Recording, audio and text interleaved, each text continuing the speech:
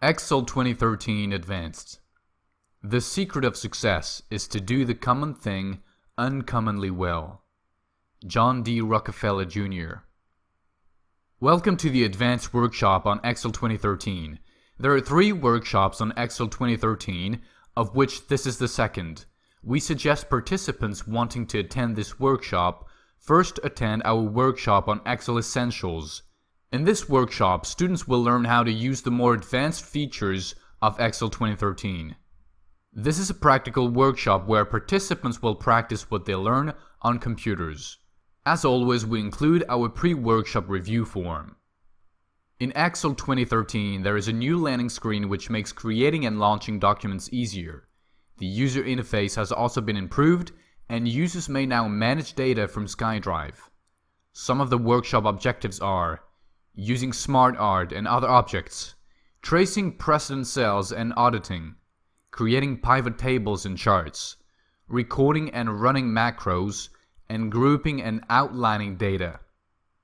SmartArt, shapes and pictures are ways to enhance your worksheet, especially when sharing the information with others.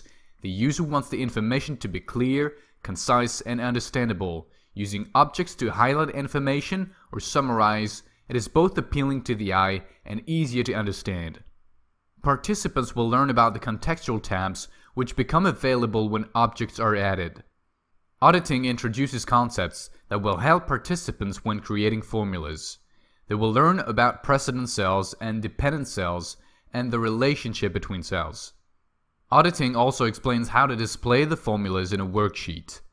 Precedent cells can be traced to track down problems. The function trace precedents is useful to see the trail of data relationships. Charts are a visual representation of information, and in Excel 2013 there is a new feature, Recommended Charts.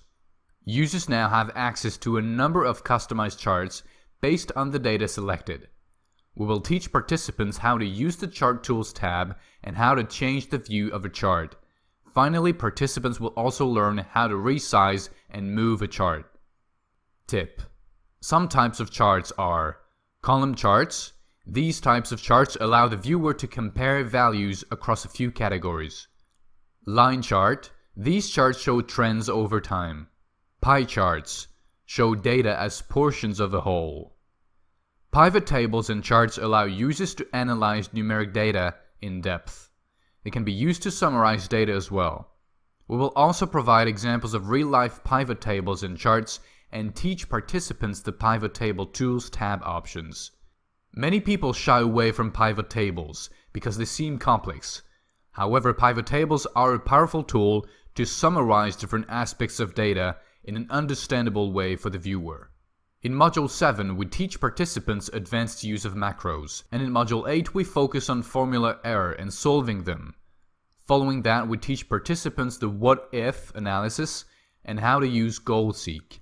We end off our workshop with transposing data and lastly grouping and outlining data.